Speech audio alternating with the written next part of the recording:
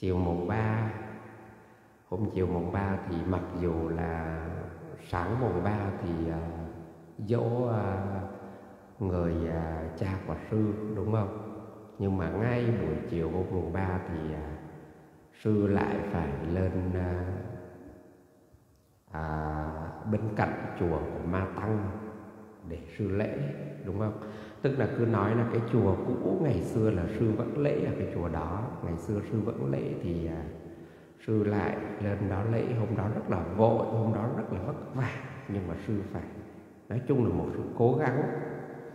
Bởi vì à, các gia chủ thì à, thứ nhất là các gia chủ là thích vào chủ nhật. Thứ nhất là các gia chủ là thích vào chủ nhật. Thứ hai là cũng nếu rơi vào một cái gia chủ nào mà không thể chịu nổi cái sự à, à, vẽ vời ra của ma tăng. Tức là gia chủ nào mà không chịu nổi mà thần mời đến sư thì sư vẫn sẵn sàng sư vẫn sẵn sàng. Nhưng như hôm trước là sư đã chia sẻ cho tất cả mọi người đúng không? Sư đã chia sẻ cho tất cả mọi người là sư chỉ khuyên là ma tăng là thôi hãy quy thuộc với à, cái lòng dân, làm cho người ta cái cách nào nó rất là đơn giản, nó thuận tiện cho người ta. Khi mà người ta có tiền thì à, mình muốn vẽ thế nào cũng được, nhưng mà khi mình hỏi mà không có tiền thì mình thuận theo người ta một chút thì nó về một mối hơn. Thì thỉnh thoảng sư không phải lên, đúng không? Cái gì nó cũng có cái giá của nó mười người thì bảy người người ta có tiền người ta chịu được nhưng ba người người ta không có tiền. Người ta không chịu được thì người ta cũng phải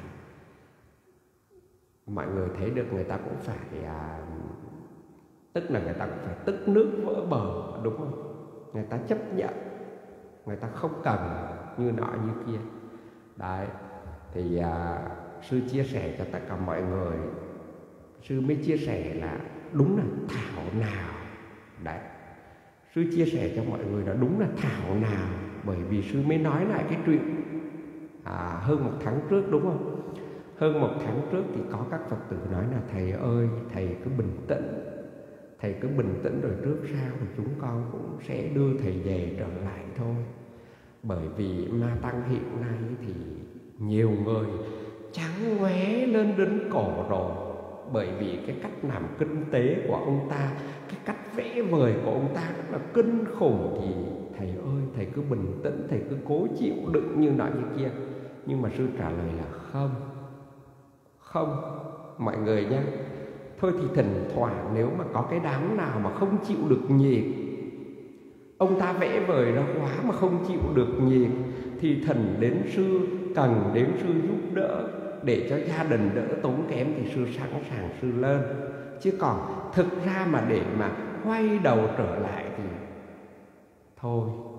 Xin à, nói chung là đến giờ phút này thì mọi người thấy được rồi. Nó quá là giác ngộ rồi chứ không phải là từ giác ngộ. Nó quá là giác ngộ rồi.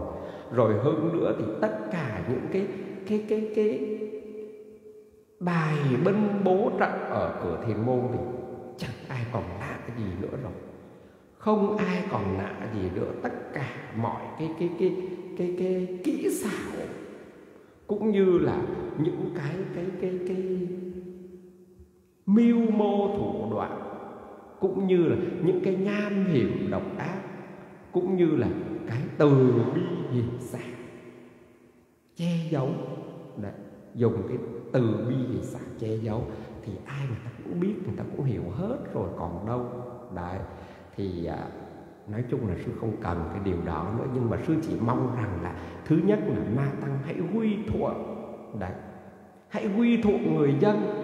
Làm sao mà sư không phải quay lên thỉnh thoảng có đám sư không phải quay lên chứ nếu mà sư quay lên thì cứ mỗi lần sư quay lên thì sư vừa được lọc thì chớ sư về sư lại chia sẻ. Đấy sư lại chia sẻ. Thì sư chia sẻ cho mọi người là khi mà mình giác ngộ được thì à, à, một vài triệu đối với ma tăng thì nó không là lớn. Bởi vì bây giờ cứ làm nhiều tiền làm nhiều tiền làm nhiều tiền tỷ thì đối một vài triệu nó không là lớn. Đối với sư nó là lớn mọi người ơi, một triệu, vài triệu thì mọi người tính xem đông gạo ăn được đến bao giờ. Đông gạo ăn được đến bao giờ rồi. Mùa hè thì ngồi trong điều hòa. Đấy, mùa đông thì đắp chăn bông, đúng không mọi người? Chả có ai nói động đến. Mọi người ơi, đúng không? Không thể thành phật được. Cho dù các ông các bà có ở cái chùa to cẩm lớn nhưng mà các ông các bà cũng không thành phật được đâu khéo cũng thành ma thôi. Liệu chừng cũng thành ma thôi. Đúng không mọi người? Do đó là thôi thì tự giác ngộ tự giác ngộ thôi. À, sư mới chia sẻ cho mọi người là đúng là không trách là thảo nào hôm nọ lại có người nói như thế nói như thế thì bất chợt. Rồi tiếp theo thì sư cũng chỉ mong rằng là chỉ mong chỉ mong là sau này ông ta chết được người dân ở đó ướp xác cho ông ta. Chứ trời ơi, đừng chôn ông ta, đừng đốt ông ta nữa. Nếu đốt ông ta, chôn ông ta thì nó tội nghiệp cho ông ta nó bởi vì ông ta sẵn sàng hy sinh. Đấy, một cái tiếng ăn cướp chùa của sư huynh mình. Ăn cướp chùa của sư huynh mình rồi là tung tiền ra để mua chuộc để được nhiều người ủng hộ. Thì chỉ mong là người dân sau này sẽ ướp xác cho ông ta. Đúng không mọi người? À, trời ơi tất cả mọi người nói nhiều vị sư ở uh, Thái Bình cũng như là nhiều vị sư ở đất nước và nhiều người khác nói trời ơi mọi người ơi sao thầy ấy lại làm như vậy? Đáng nhẽ thầy về thầy ấy phải giàn xếp thầy ấy trả lại thầy chứ. Nó mới là đúng nó mới là thật thầy thật là cao cả. Coi như là cái tiếng tâm của thầy nó lộng lẫy lên. Ai cũng biết đến thầy ấy thầy thật là cao cả, nhưng thầy đâu có làm được. Bởi vì nó hiện rõ cái tâm ma của thầy ấy. Nó hiện rõ cái tâm ma của của cái cái cái cái thằng môi thâm mắt trắng. Đấy sư nói là cái thằng môi thâm mắt trắng nó hiện rõ cái tâm ma. Đấy nó nó nó cơ hội của nó một nghìn năm có một. Một nghìn năm có một người sư huynh của mình sơ suất một cái là nó cướp. Nghìn năm có một đúng không? Do đó nó mới hiện rõ cái tâm ma. À, nhiều vị sư nói trời ơi thầy ơi sao thầy ấy lại làm như vậy?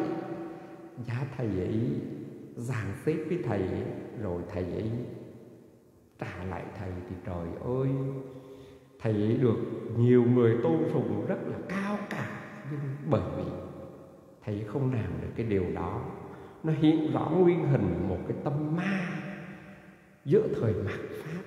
Đúng không mọi người? Sự tin là rất là nhiều người nên xem nhiều người nên xem lắm rồi nó xuất hiện nhiều người lạ bởi vì một bên là chấm bốn một bên là cộng hai mà sư biết rồi đấy là nhiều người nên xem. Đấy à, cái mạng nhiều khi chèn thì à, có khi là báo một người xem có khi là báo không người xem cũng có. Nhưng mà khi kết thúc đi thì cũng đã bốn năm chục người xem. Đấy thì sư cũng chưa hiểu được là cái điều này. Do đó nó rất nhiều người theo dõi rất là nhiều người thích xem. Bởi vì sư mới